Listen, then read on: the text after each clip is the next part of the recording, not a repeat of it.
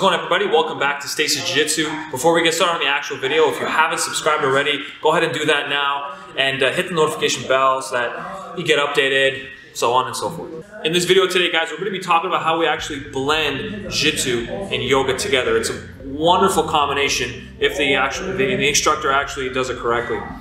But for those that don't know, in about a year or so, uh, Bianca and I are going to be opening up our own academy and we're going to be involving yoga in our program as well and have a whole structure to it, programs. It'll be absolutely amazing. Today, instead of showing an entire structured sequence that works with a bunch of different things, we've actually chosen one jujitsu technique to focus on. And this way, I can actually give you yoga poses specifically to basically develop a better range of motion helping to further improve that technique as well as counter stretches to work with it as well. I'm gonna say something and it's something maybe to think about, you know, give it some time. It might be a little bit confusing uh, just right now.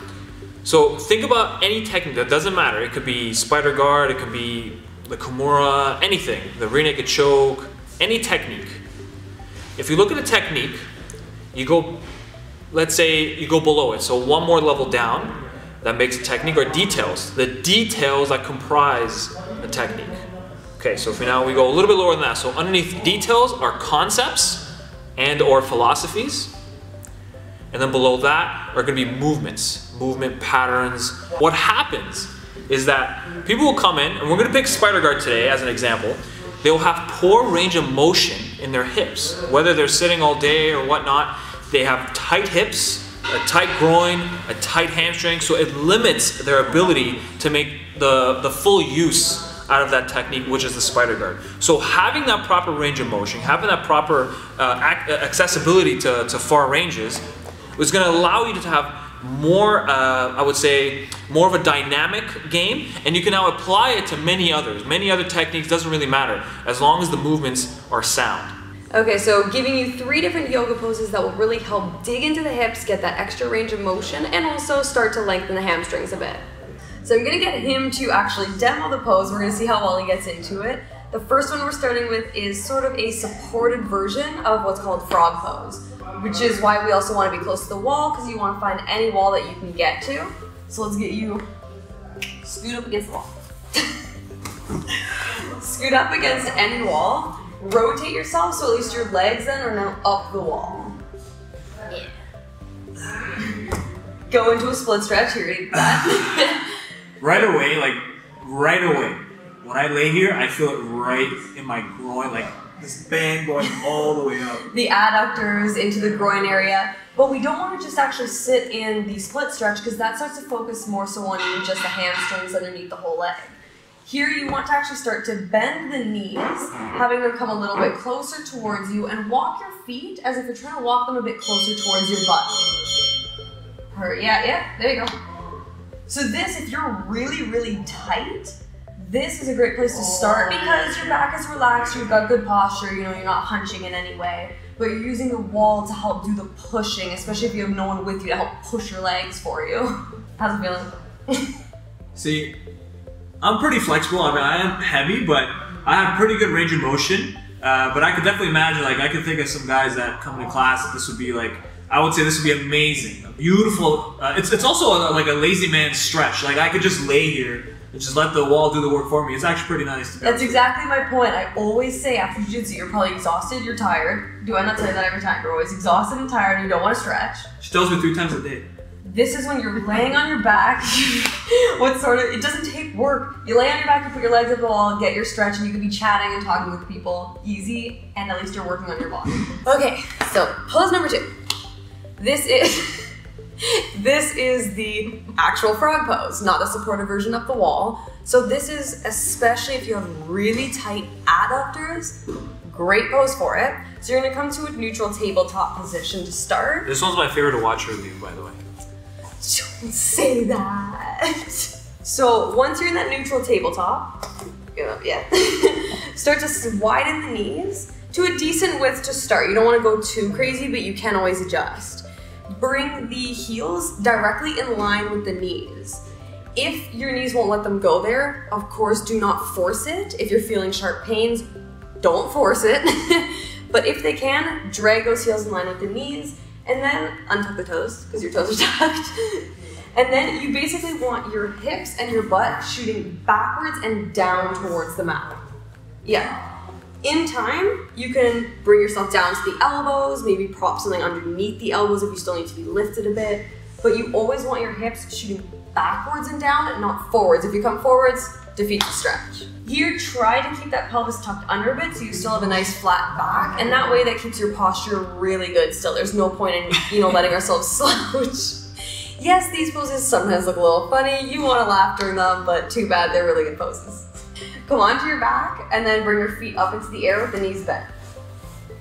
I'm gonna be facing this way because you'll see in a minute why.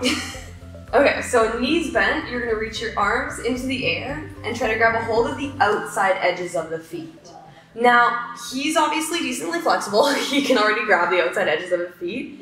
If you couldn't, you can always grab the ankles, around the ankles, or even behind the knees on the thigh. From here, when you're grabbing the outside edges of the feet, you then want to start to pull them down so that way your knees are coming towards your underarms, towards the mat, and in time, you're stop kicking. In time, you're gonna start to widen the feet apart as well. And now he's feeling it finally. Here, if this is a little bit difficult, I grabbed his belt to show you that you can always even use your belt, swing it around your feet, hang onto the belt, and use that to help pull it down, especially if instead of grabbing your ankles or behind the, the knees on the thighs isn't enough pressure, that's where the belt comes into play and gives you a chance to actually pull it down. For posture purposes though, make sure the shoulder blades, if you can, keep them flat to the mat. Just work on using that arm strength to pull the feet down. Counter stretches. So I'm gonna show about, I think it is two counter stretches, and that way, you know, when you're doing a lot of spider guard, even these yoga poses I just showed you, you're now gonna maybe feel a little bit imbalanced in the body. It's kind of like when you do a lot of, say, like rounding of the back. You wanna open that chest up keep our body balanced, keep our body with good posture and that mobility that we need. Come lie down on your stomach and bring your hands just underneath the shoulders or more like right beside the, the ribs.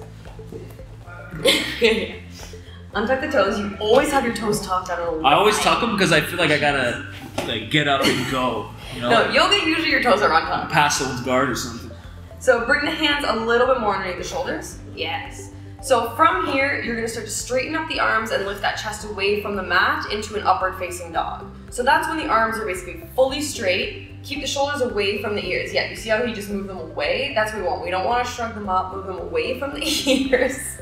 Squeeze the shoulder blades together, which he already is. and then you wanna feel the chest puffing forwards as you take your gaze either forwards or a little bit towards the ceiling.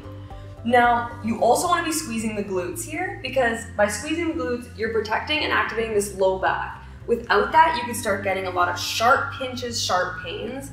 To also avoid that, if you are feeling those sharp pinches and sharp pains and squeezing the glutes doesn't seem to help, lower yourself back down to the elbows and going right into our Sphinx pose instead. Keep the uh, forearm straight, hands up for it, yeah. Same cues though as before, squeezing the glutes so we still protect and activate that low back. Squeeze the shoulder blades together and keep the shoulders away from the ears. That way we're gaining strength with the mobility because we're not trying to be contortionists. We don't need to completely like break our spines. We're just trying to get that range of motion, that mobility that we need to get through, you know, our everyday lives, keep our bodies in like that good physical shape. Going into our last counter stretch. Because doing happy baby frog pose, we're basically bringing the knees towards us. We want to push them away and stretch the quads instead of the hamstrings. What a better pose? Low lunge. So coming it into a low lunge, bringing one foot forward, whatever foot you choose. Perfect. Untucking the back toes again. and start to drag that back leg further away from you just until you find a good enough stretch that you're feeling within the hip flexors and the quads. Yeah, I feel like. Yeah. Always make sure that the knee is directly above the ankle. His is a little bit behind, so he needs to bring the ankle back. Yeah, as you lean that knee forwards. Perfect. Holding right there. Try not to let it pass. We do this because we want to protect the knee. And if you go past, you may be pulling a little too much. To ease it up, simply drag the back leg closer to you, deepen it, push that back leg further away. To keep it a bit active, exactly what he's doing. Have your hands on the knees, pop that chest, and sink those hips.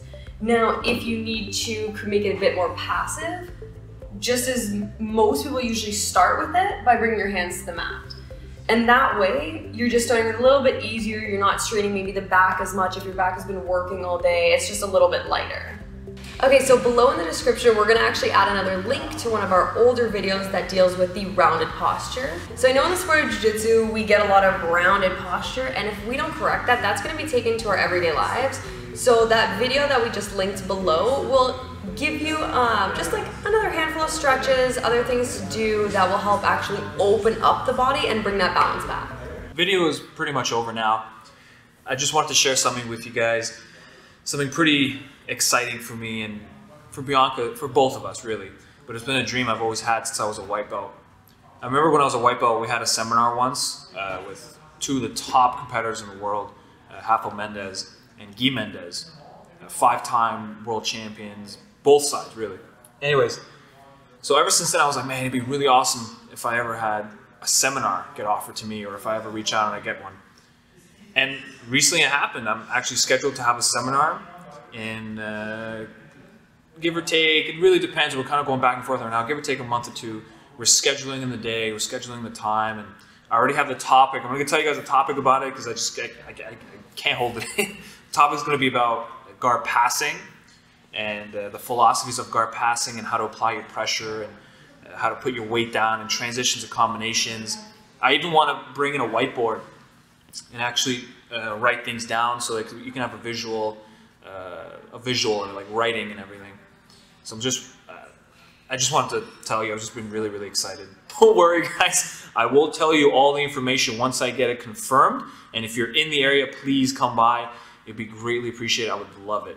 I will be also doing a video. Bianca will be doing sort of consider like a like a vlog of that day. Anyways, thank you for watching. I'll see you guys in the next video.